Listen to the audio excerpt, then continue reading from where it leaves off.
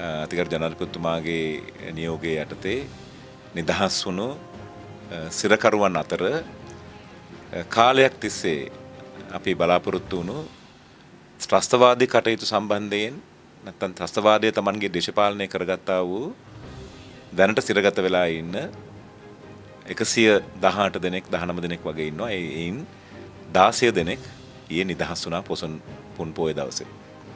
මේ සඳහා මහිතන්නේ සමස්ත දෙමළ දේශපාලන තලයම දෙමළ ජනයාත් විශේෂයෙන් ඒ පවුල්වල අවුරුදු දහයක් දොළහක් වගේ ඒ සම්බධතාවෙන් පවුලෙන් දෙමවපියන්ගෙන් දරුවන්ගෙන් ඇත්දලා හිටපු සිර කරුවන් වෙනුවෙන් මම ජනාධපත්තුමාටත් මේ යෝජනාව ගෙනත් පාර්ලිමෙන්තුවට ඉතා නිර්බිහිතව තමන්ගේ විශේපතය නොවනත් තමන්ගේ පෞද්ගලික ජීවිතය ලැබුණු අතිශය මානුසික අත්දැකීමක් උඩ මේ යෝජනාව ගෙනාව තරුණ කටයුතු හා ක්‍රඩා ඇමති ගරුණ අමල් රාජපක් සැමිතුමාටත් මේ සම්බන්ධීකරණය කළ අධිකරණ අමාත්‍ය අලිසබ්‍රිය ඇමතුමාටත් මම දෙමළ සමාජය වෙනුවෙන් ස්තුතිවන්ත වෙනවා. මේ ආරම්භය නම් අපි දැනගත යුත්තේ සිරකරුවන් නිදහස් කිරීම යනු දේශපාලන සංස්කෘතික තියෙන විශේෂ ලක්ෂණයක්. යුද්ධයකදී හෝ යුද්ධෙන් පසුව හෝ සාමාන්‍ය අවස්ථාවලදී හෝ මෙම සිදුවීම ලෝකේ පුරා අපි දකිනවා. එයින් කියවෙන ප්‍රධාන පාඩම නම් විශේෂයෙන් සසවාදී කටයුතු හා යුද්ධය සම්බන්ධයෙන් අත්පත් කර මේ අත්අඩංගුවට ගන්නා වූ සුරකරුවන් නිදහස් කිරීමෙන් කියවෙන්නේ අපි ඒ යුද්ධයට ඔබට යාන්නට සූදානම් බව.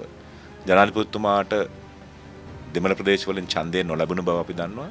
ඒත් එය කාරණයක් කරගෙන ලැබුණු හැම අවස්ථාවේදීම කාරණයක් නොකරගෙන එතුමා එතුමා ලැබුණු හැම අවස්ථාවේදීම දෙමළ ජනයා වෙත තම මිත්‍රත්වයේ දෑත් දිගු කරන බව ඊයේ සිද්ධයෙන් අපට පැහැදිලිය. මගේ අරමුණ නම් මම නිදහස් පක්ෂය උපලේකම් කරේ නිදහස් පක්ෂය ශ්‍රී ලංකා පොදුජන පෙරමුණු ආණ්ඩුව තුළ ප්‍රධානම දෙවැනි කොටස්කරුවාය.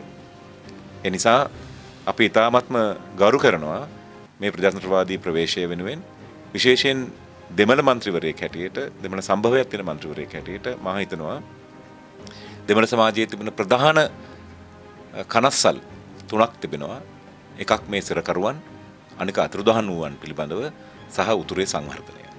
මම හිතනවා රජය මේ පිළිබඳව ලබා ඇති ප්‍රවේශය සුබවාදී සහ දිසානතිය ඊටම පැහැදිලිය. අපි ලබන මාසවලදී මේ පිළිබඳ තවත් සුබවාදී වර්ධනයන් සිදුවෙයි කියන එකයි මගේ බලාපොරොත්තු අපි ඒ සඳහා සියලු සහයෝගයන් දිය යුතුයි මොකද සියල්ලන්ගේම අභිලාෂය විය යුත්තේ දෙමළ සිංහල මුස්ලිම් බර්ග වැඩි ශ්‍රී ලංකාව තමන්ගේ මෞබිම හැටියට තෝරාගත්තා වූ ඕනෑම කෙනෙකුගේ අභිලාෂය විය යුත්තේ ප්‍රජාතන්ත්‍රවාදී රටක සමානු සම අයිතියන් ඇතුව සාමයෙන් ජීවත්වීමයි. මා හිතන්නේ අපි උත්සාහගත්තේ යුත්තේ ඒ අරමුණ කරා. breaking.lk